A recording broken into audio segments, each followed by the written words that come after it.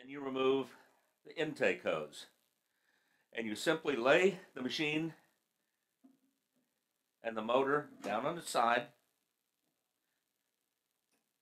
Remove this tray and you'll see a red button on the inside. That is the reset button.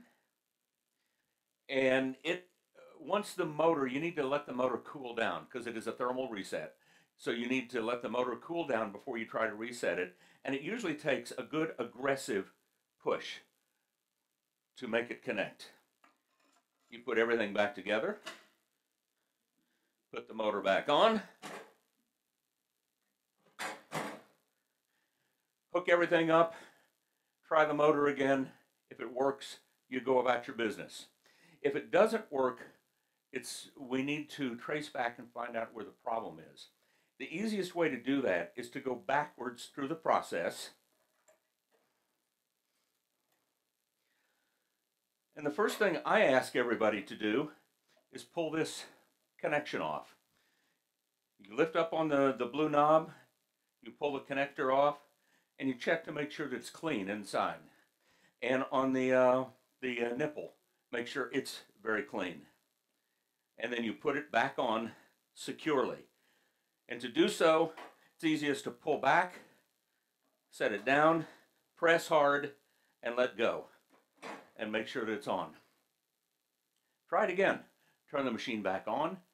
If it doesn't work still, the next step is to go to the intake side. There's a number of reasons why your machine may not be working. If you hear the motor humming, you know the motor works. You know the electrical connection is right. If you don't hear any hum, check your electrical connection. Make sure that the extension cord is hooked in. Make sure that the socket is hot that it's plugged into.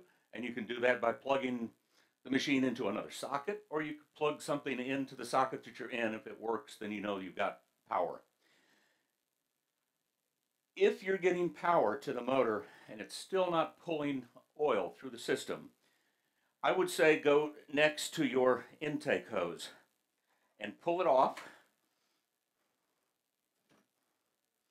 And I hate to tell you this, but it's something I highly recommend that you do, is find a way to blow through it. And you can tell whether it's got an obstruction. If there's no obstruction, look down in the bottom.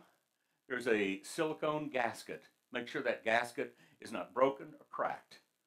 If it is, it's not making good connection and it's sucking air rather than oil.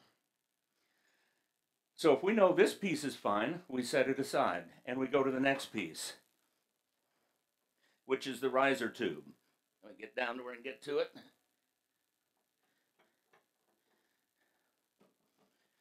And we take the riser tube and you point it at a light source and look through and see that it's clear. If it's clear, you set it aside and you go to the next item.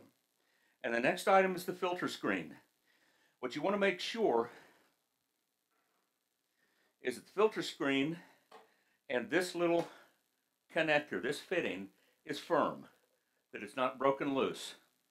Now, if all those things are going on and we still have a problem with the motor, or we still have a problem that things aren't working right, um, I, I would like us to go ahead and plug the machine in.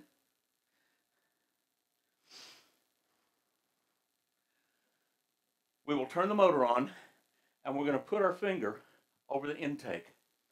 What we want to feel is that there's suction, that the pump is turning and that suction is, is working and is enough to pull oil through the pipe. You should be able to feel and hear a difference. If you're not feeling and hearing that, I would say pick up the phone, call our number, which is right here on the machine, call us and let us talk you through the rest of the process. We wish you the best of luck with the Armadillo. We think you're going to have long years of service, and it's our pleasure to serve you. Please give us a call. Thank you.